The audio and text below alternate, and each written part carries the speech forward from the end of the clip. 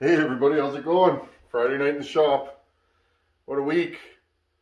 It was a tin marathon for this guy this week. Uh, doing the last push before Christmas. In my line of work, sheet metal, I'm in the housing industry, we we give her just before Christmas. It's usually a sprint. So uh, if the Tin Man looks sleepy on film, it's because he is. Uh, I'm still going to be here for you guys though, that don't matter. But uh, so yeah, just bashing tin like it's on sale for 19.95. So hope you guys had a good week, a productive week, doing whatever it is you do out there, and uh, I had a great week. Uh, David, uh, appreciated yakking with you, buddy. Uh, always meeting new people on uh, through this channel, good people. Uh, I, I, got to yak with a fellow named David, and uh, he's good fella. It was it was my pleasure, buddy. Get to make your acquaintance.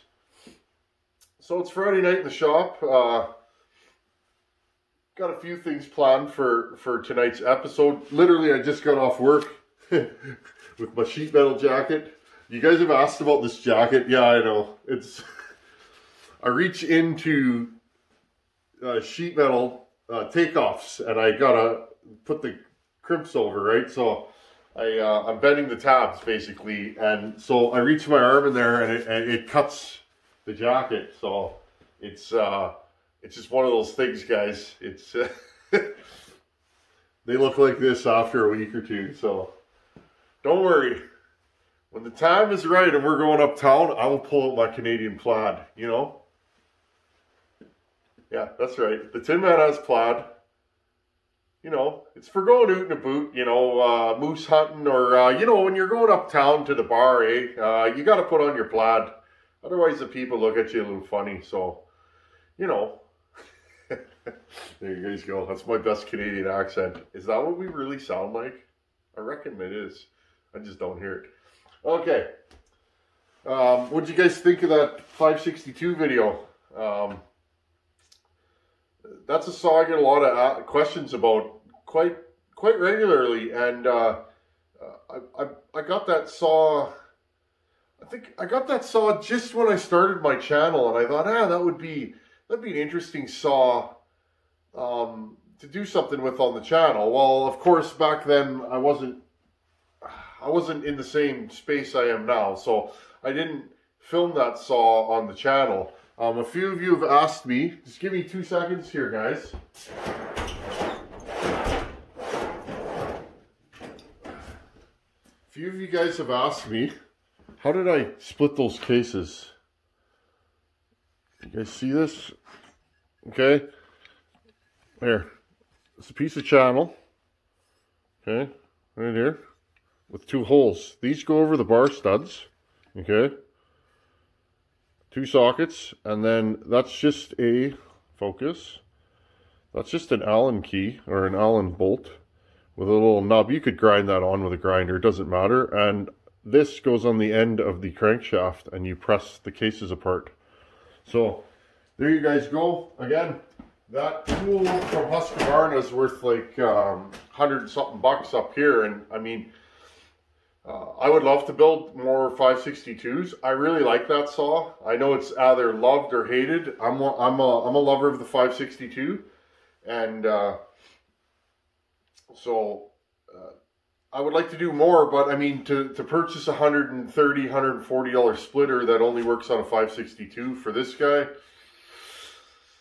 nah, I'm too scatterbrained for that. So I just made one. And uh, it, it works fine. And I think I'm gonna, I think I'm actually gonna slot that where the bar studs go so that I can slide it backwards and forwards and so that it'll it'll get right on the end of the crankshaft on any saw because that splitter just flat out works. So uh, for those of you that asked that I'm gonna pause you guys here. I got a little question for you folks. I got something here that I've had for a while and I, I was digging through my junk so I was, I was, digging through my junk pile here, folks, and uh, I come upon this, and I thought, interesting. Um, what model is this? Does anybody know? It's definitely a Mac. Didn't even know I had it. Uh, the rest of the parts are in a parts bin. Um, a fellow passed away, and um, I don't I don't know the fellow, but fellow passed away in one of the towns. He was a friend of my buddy, and uh, he uh, we were helping his wife clean out the shop, and, and this was in there, but it was all ripped apart, and and uh, and uh, so I ended up with it, and it's all there. I got all the parts. I don't even know what it is. Uh, I'll bring you guys in closer here. Maybe we'll do something with this. It's definitely a Mac. It's one of those. I think it's a mini Mac or. A, I can identify this here power saw. There's no stickers on it of any kind.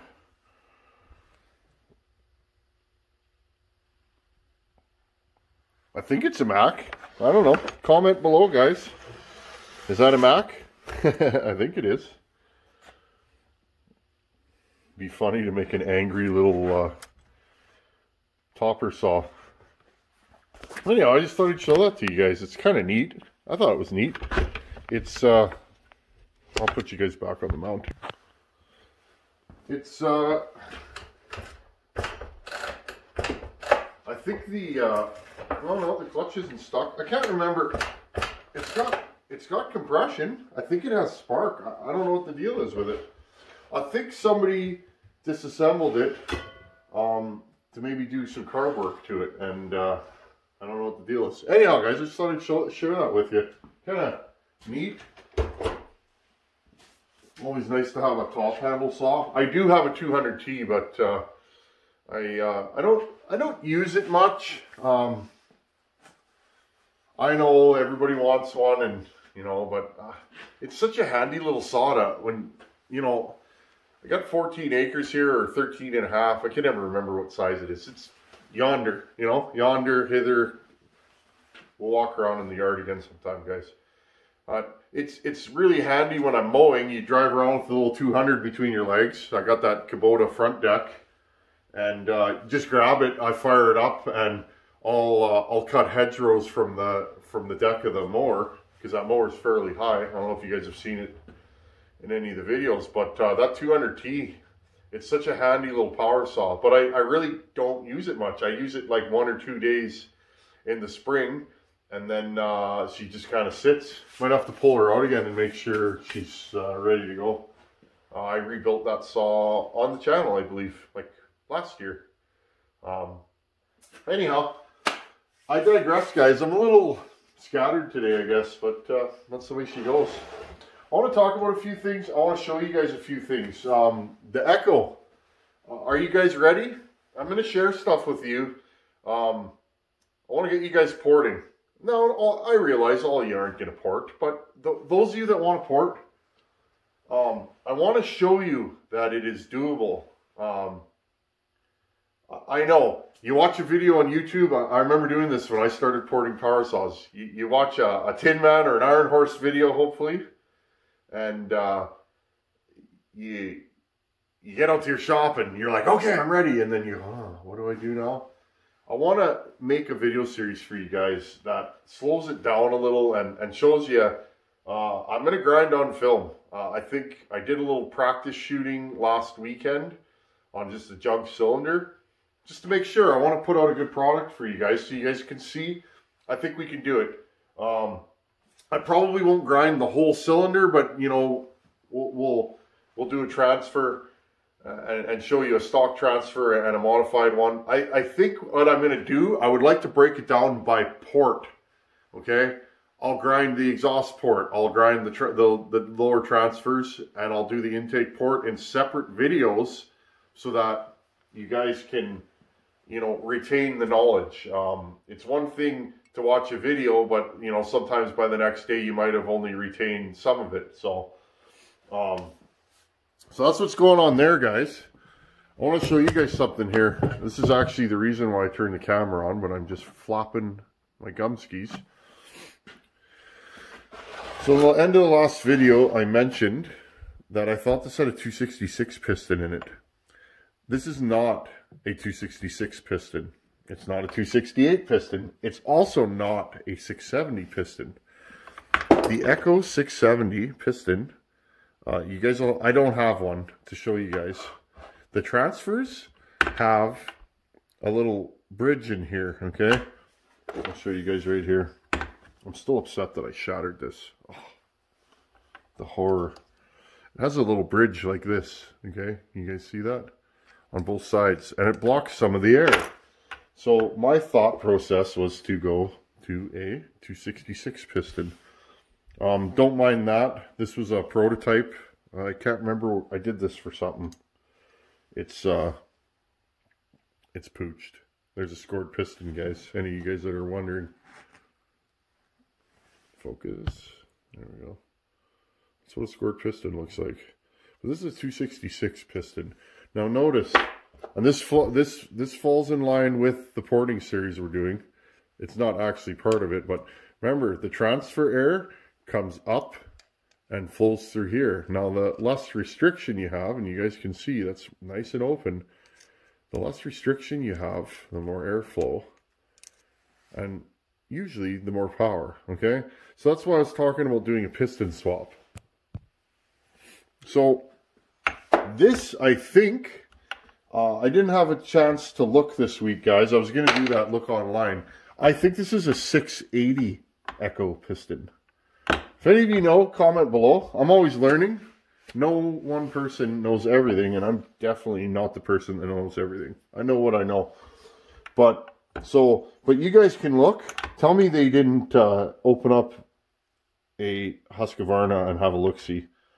These are dead ringers. The curve at the bottom gives it away. This piston is not stock, though, and it's been cut. So, um, I don't think it had the curve. This this is a 266 piston. 268, this is in here. This is what they call a full skirt piston. This the 268. Actually, I have one, guys. Uh, I have a piston. I'll just show you.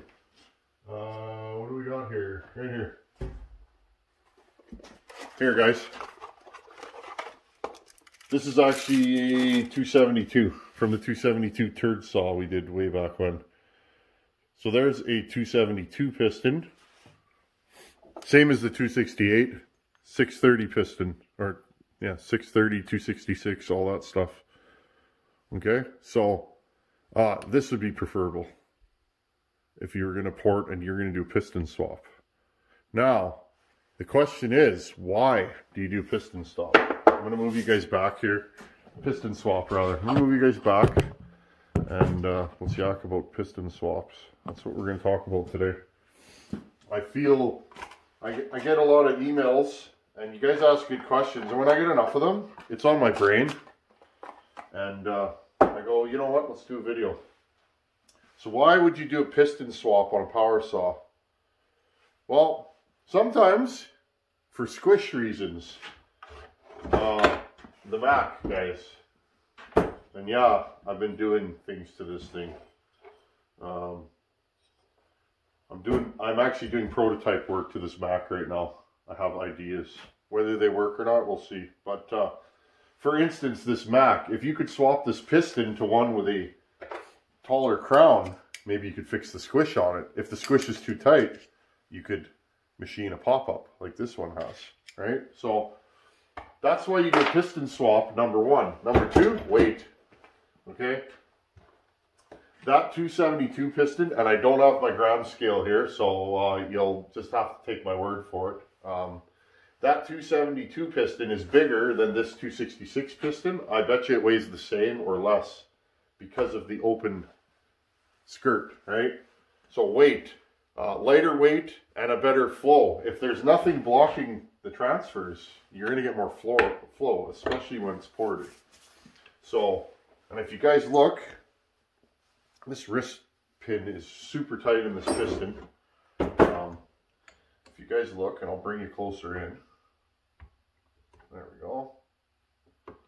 Okay, so we could do this to this power saw. I'm not going to though, because I made the promise that I'm going to make this saw. I'm going to do a port job that any one of you can do as long as you have a timing wheel and basic grinding tools like a Dremel. Okay?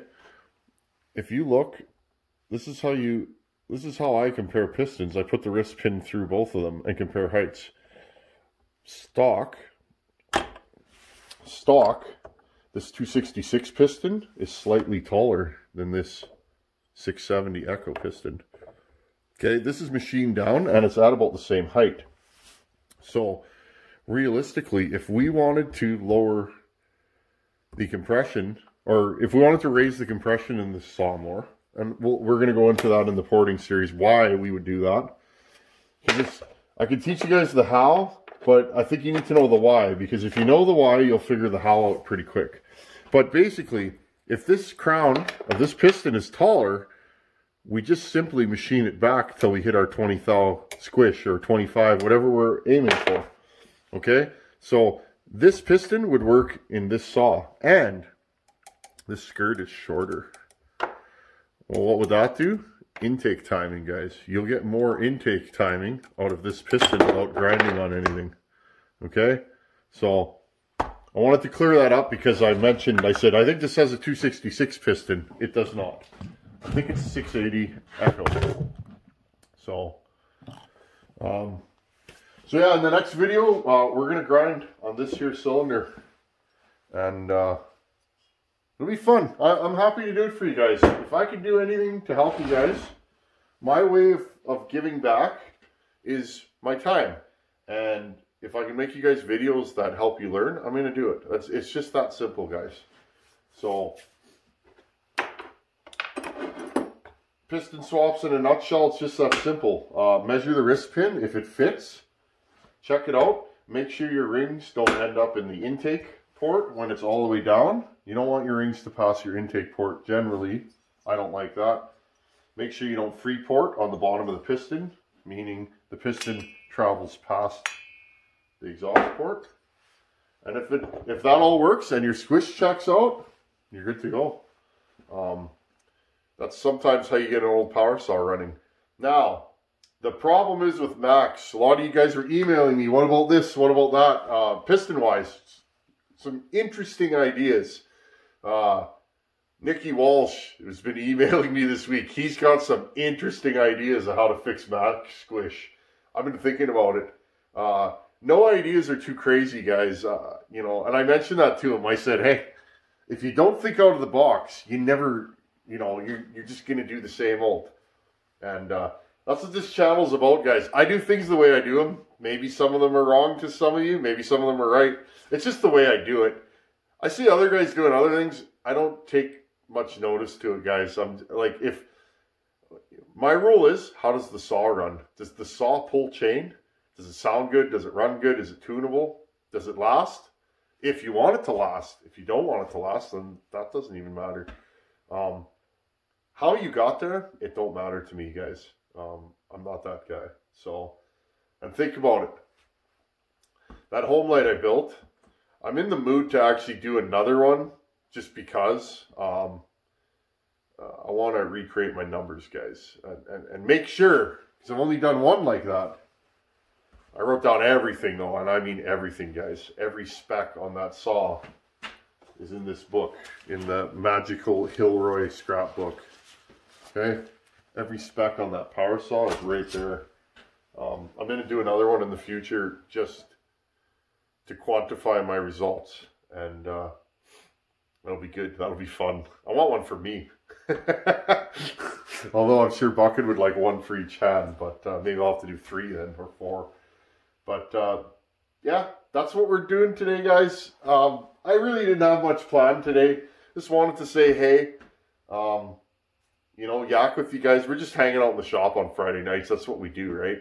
And uh, did a lot of shooting in the last couple weeks, guys. Uh, I got some falling uh, videos. Been doing a lot of falling, a lot of cutting. So be good to show you guys some of my saws that haven't really run on the channel. Uh, I pulled the saw out. It's the first. I pulled out a saw. It's the first power saw that was ever on this channel. Second power saw that's ever on this channel from years ago. And uh, I pulled that out the other day because I thought it was fun to revisit my own work. And uh, remember, guys, every saw that's been on this channel, except for a few, is on this shelf. Uh, I do that on purpose, guys.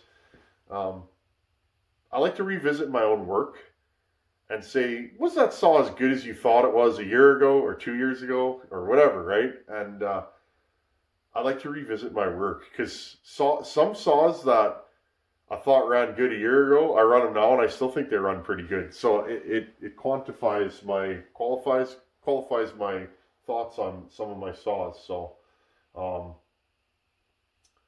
that's the deal there, guys. Another thing, I'm sorry, guys. I'm still not taking any work. I gotta say it. Uh, I'm not taking any work, guys. uh, I know you guys, you guys keep emailing, emailing me and twisting my arm. I would love to build saws for all of you. I just can't, guys. Um, it wouldn't be fair to the channel. It wouldn't be fair to what we've created here. This is a fun channel. Uh, I got nothing to sell you. I'm just doing my thing, and uh, I like it that way. I think it keeps it more fun, open, and honest if I'm not building power saws for you guys. And uh, maybe in the future we'll do some, but uh, as of right now, and I've said this before, and you know, um, I'm not really taking any builds. Just a few for my buddies, you know, and uh, and whatever I do on this channel. And uh, the the deal here, guys, is I want to show saws that aren't on YouTube or rarely on YouTube. I want to give saws love that are rarely on YouTube. I want to work on stuff that's different, okay? Obsolete stuff. I want to get these Macs running, guys. That's all I can think about, in fact. That and this are the two things that are running my brain right now. So, uh, I want to give Macs some love. And I just, I want to work on saws that I can't just Google you know, how to do this, how to do that. I think it's important to share this knowledge because once I put it out there, guys, it's there forever and you can go back and refer to it. And, and I like that. Um, you know, I've spent so many years of my life pulling wrenches that, you know, even at my age, sometimes I forget the things that I know. Uh, you guys know what I'm saying? I, I take for granted some of the stuff that I know and, and uh, getting questions from you guys. I go, wow, I, yeah, I guess so, or I guess I overlooked that. So, um, like piston swaps, you know, stuff like that. So, anyhow, guys, Friday night in the shop with the Rambling Tin Man. love all you guys. Super glad that you're here. Let's just keep having fun. I got so many things planning right now. I don't like to show things until they're actually moving, but we got some cool stuff coming, guys. I wish I could tell you guys everything that's going on in the background right now, but there's so many cool things going on. And uh, let's just keep growing the channel and uh, let's just keep having fun. This is a trip, guys. Thanks for hanging out in my shop and uh, I'll see you guys again. Take her easy. You guys were like, is he going to say take her easy? Yeah, that's right. Take her easy. I threw it in there. Later, guys.